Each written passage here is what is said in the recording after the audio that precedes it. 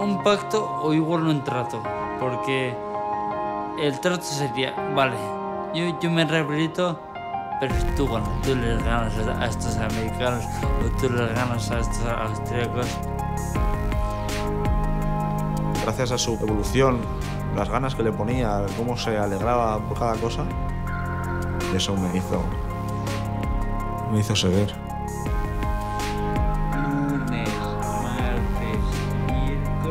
Ahí empieza la lucha paralela de los dos, ¿no? Claro, era un trabajo paralelo, pero los dos siempre apoyándose el uno al otro.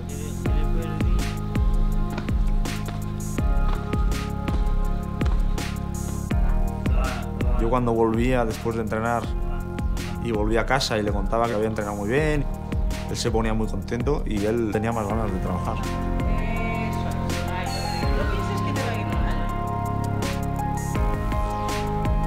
Nico es cuando empezó a trabajar de verdad para recuperarse, ¿no?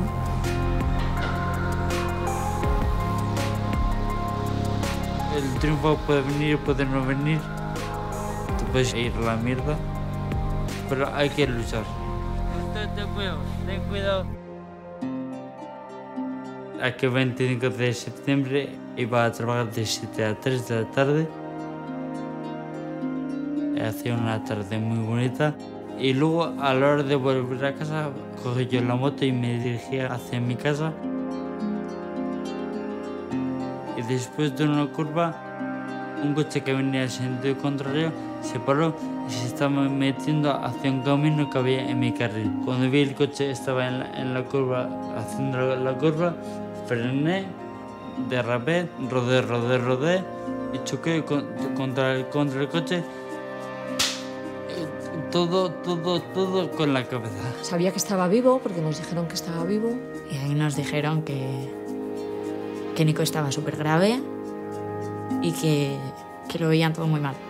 Cuando llegué a la sala, lo único que recuerdo es palabras coma y daño cerebral. Sochi desapareció de mi cabeza. Él lo sentía así, que no, no podía dedicarse a él.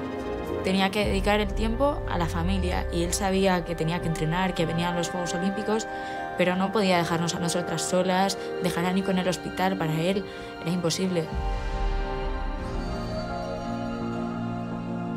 Los primeros días evolucionó muy bien.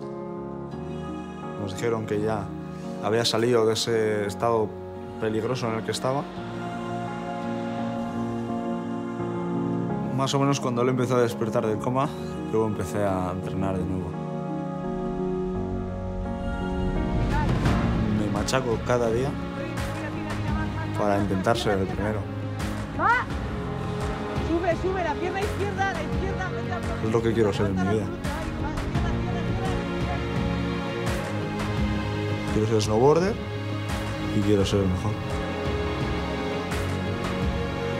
A mí la nieve me ayudó mucho.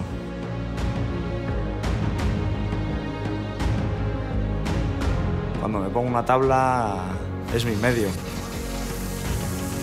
Me relajo. Se dedica en cuerpo y alma a, a lo que quiere para llegar a conseguir sus metas. tiene esa paz y ese control innato. Es un luchador, es un guerrero.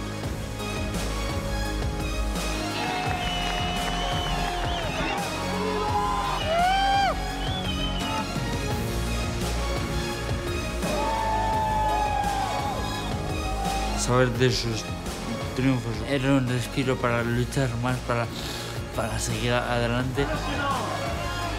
Segunda posición. Lucas. He soñado con una medalla olímpica. Es una cosa que me haría mucha ilusión ganar. Para colgársela a mi familia, ¿no? Creo que donde estoy es, gracias a ellos.